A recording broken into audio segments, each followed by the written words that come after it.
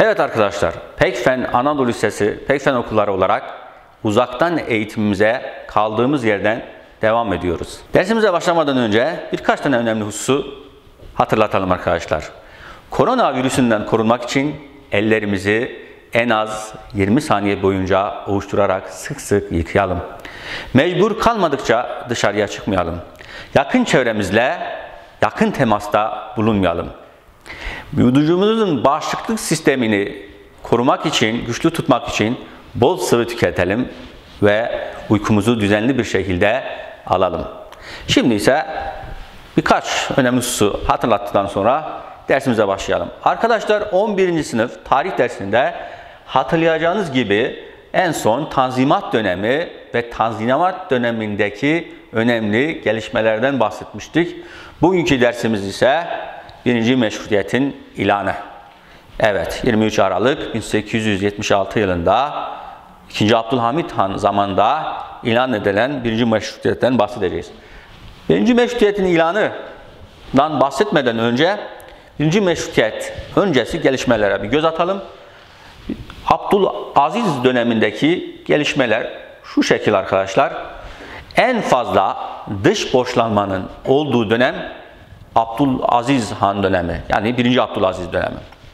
Bu dış borçlanmanın fazla olması Osmanlı ekonomisinin iyice kötüye gittiğinin bize bir göstergesidir arkadaşlar. Olumlu bir gelişme var Abdülaziz Han döneminde. O da Osmanlı dönemi, dönemin özellikle gemi sayısı olarak üçüncü büyük donanması haline getirilmiş. O da donanma alanında tersanecilikte yapılan yeniliklerle meydana getirilmiştir arkadaşlar. Bu dönemde sıkıntılı bir süreç ise Rusya'nın özellikle Balkan politikası yani Panslavizm akımı. Panslavizmi hatırlayalım. Neydi arkadaşlar Panslavizm? Rusya'nın Balkan devletlerindeki bulunan Slav ırklarını bir araya getirme ve onların üzerine nüfus kurma politikasıydı Panslavizm. E bu politika kimi rahatsız edecek? Onu bir açalım arkadaşlar.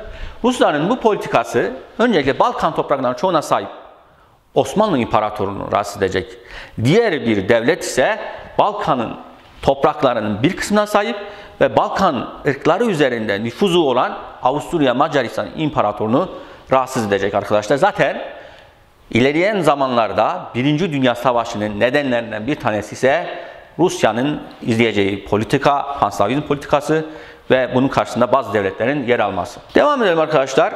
Bu dönemde Abdülaziz Han Avrupa'daki gelişmeleri takip etmek için e, Avrupa seyahatleri yapan bir padişah olarak da bilinmektedir. Abdülaziz Han arkadaşlar tahta başındayken bu dönemde Jön Türkler denen bir grup var. Jön Türkler kimler? Jön Türkler 2. Mahmut ve özellikle Tanzimat döneminde Avrupa'ya gidip eğitim alan ve döndüklerinde ise Osmanlı Devleti'nin içerisinde bulunduğu kötü durumdan ancak kurtulmanın yolunun meşrutiyet sistemini olduğunu savunan bir grup arkadaşlar. Evet Osmanlı ekonomik olarak kötü durumda. Askeri alanda kötü durumda. Savaşlarda başarı elde edilmiyor. Yenilgiler var. Sosyal olarak isyanlar var. Siyasi olarak sıkıntılar var. Bu durumda diyorlar ki Jön Türkler bizim bu devleti içinde bulunduğu kötü durumdan kurtarmamızın yolu meşrutiyet sistemini ilan etmemiz. Kimler bu Jön Türkler? Ön, önemli Jön Türk kişileri Namık Kemal var, Ziya Paşa var, Cevdet Paşa, Ali Suavi Bey ve Mithat Paşa bu fikrin temsilcilerin liderleri arkadaşlar. Ve bunlar Abdülaziz Han'a meşrutiyetin ilanı noktasında baskı kuruyorlar arkadaşlar. Abdülaziz Han bu baskıyı merkezi otoriteye etki, olumsuz etki edeceğinden dolayı kabul etmiyor ve birinci meşrutiyetin ilan etmeyeceğini söylüyor onlara. Onlar da çalışmalarına devam ediyorlar. Jön Türkler dediğimiz bu grup ve bazı devlet adamlarının desteğini alarak arkadaşlar e, Abdülaziz Han'ı tahttan indirerek yerine 5. Murat'ı tahta getiriyorlar arkadaşlar. Şimdi 5. Murat'ın akli dengesinin yerinde olmaması ve ülkeyi yönetmeme, yönetememe gibi kaygılardan dolayı tekrar bir araya geliyorlar ve Şeyhülislam'ın da fetvasını alarak 2. Abdülhamid'i tahta geçirmek için çalışmalara başlıyor. Ama 2. Abdülhamid'e bir şartları var. Bu Jön Türk grubunun. Şartı birinci meşrutiyeti ilan etmesini. Evet, 2. Abdülhamid'e Jön Türk grubu diyor ki birinci meşrutiyeti ilan etmeye bize söz verirsen bizler seni tahtın başına geçireceğiz. İkinci Abdülhamit bu noktada Jön Türklerle anlaşıyor ve Jön Türklerin bu şartını kabul ediyor. Belki başka hesaplarda olacak 2. Abdülhamid'e ama öncelikle Jön Türklerin bu teklifini kabul ederek daha sonra bazı sıkıntıları çözeceğini düşünüleceğinden dolayı bu şartı kabul ediyor arkadaşlar. Şimdi bu gelişmeler Osmanlı devlet otoritesinin yani merkezi otoritenin zayıfladığının bir göstergesi. Neden? Çünkü bir merkezi otoritenin güçlü olduğu bir devlet herhangi bir grubun veya dışarıdan içeriden herhangi bir etkiyle karar almaz. Eğer bir ülkede bir grup padişah indirebiliyorsa, istediği padişahı tahtın başına geçirebiliyorsa, ülke merkezi olarak, siyasi otorite olarak zayıflamış demektir. Merkezi otoritenin güçlü olduğu devletler mutlak hakim yani yönetime mutlak söz sahibi olan devletler, yönetim şekilleridir arkadaşlar. Bunu da hatırlatalım. Şimdi 2. Abdülhamit dönemi ne geçelim ve 2. Abdülhamid'i biraz tanıyalım arkadaşlar. 2. Abdülhamit şehzadeliğinde kendisini en iyi yetiştiren şehzadelerden birisidir. Yani gerek Avrupa seyahatleri, gerek aldığı eğitim, gerekse bilim ve sanata verdiği önem açısından Osmanlı Devleti'nde şehzadelik döneminde kendini en iyi yetiştiren padişahlardan birisi de 2. Abdülhamit'tir ve tahta en fazla kalan padişahlar arasında sıralamada 4. sıradadır. 2. Abdülhamit yaklaşık 32 yıl kadar Osmanlı Devleti'nin başında durmuştur. En fazla Osmanlı Devleti'nde tahta kalan padişah Kanuni Sultan Süleyman'dır. 45 yıl kadar kalmıştır. Daha sonra 4. Mehmet 38 yıl, Orhan Gazi 35 yıl ve 4. sırada ise 2. Abdülhamit Osmanlı Devleti'nin tahtta en fazla kalan padişahlar arasında sıralanmaktadır. Bir notumuz var 2. Abdülhamit dönemiyle alakalı arkadaşlar. Bunlardan bir tanesi de 2. Abdülhamit Osmanlı Devleti'nde tek başına ülkeyi yöneten son padişahtır. Ne demek tek başına?